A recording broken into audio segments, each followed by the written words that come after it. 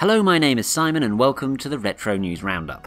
To start this month, there was a news that Limited Run Games and Sunsoft plan to release a number of remastered retro titles in the coming months, starting with the Game Boy's Trip World for the Switch, PS4, and PS5.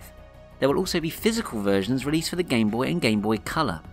But in all honesty, I've just included this news as I have a short interview clip from the people at Limited Run Games that I can actually use, which I'll play for you right now.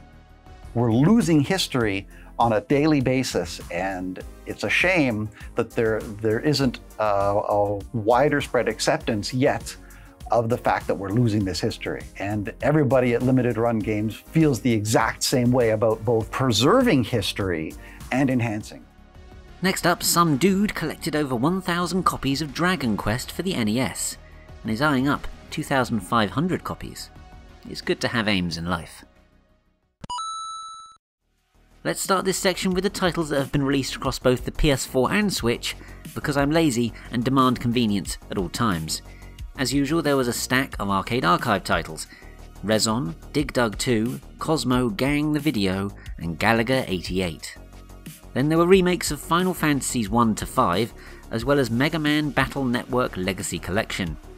The Switch got a few retro offerings of its own though, most notably the superb Advance Wars 1 and 2 Reboot Camp, as well as IGS Classic Arcade Collection. Four Mega Drive games were also added on the console's online service Pulseman, Street Fighter II Special Champion Edition, Kid Chameleon, and Flicky, as well as the N64's Pokemon Stadium. The PS4 got Cel Damage HD, which I'm sure it already had, but hey ho, don't at me if this is wrong. Finally, the Evercade got a couple of new cartridges Toaplan Arcade 2 and the C64 Collection Volume 2, with the latter including many classics, including. Oh. Oh no. Nothing to be found here this month. Anybody got anything? No wrong answers. What's that? Okay, I stand corrected. After a quiet couple of months, the 8 bit homebrew scene is back in force. There were seven Commodore 64 titles Zeta Wing 2, Kick of the Spear, Adventure 1, Newsstand, Snake vs. Bomb 2, Space Station 23, and Lost Realms of Murkasada, Episode 2. And the ZX Spectrum topped that number with 8 new games Double Dragon 128K, ZX Snake, Jack Dragon, Broxolico, Cursed Demons of Wallachia, Laska Pij Actif, Dungeon and Souls, and S-Bot. Uninteresting fact, Cybot has been one of my many nicknames. There have been much worse ones, believe me. Moving swiftly on, three titles were made for the Amiga in April Hop to the Top, Box 4, and Tenebra. Then to round off this section, Mr. Wong ambled towards the Amstrad CPC.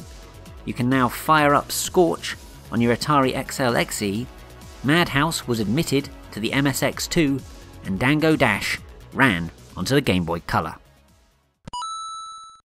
Developer Rare's co founder Tim Stamper teased that their never released Dream 64 project for the N64 was at one stage a reality by sharing a picture of the development cartridge on Twitter.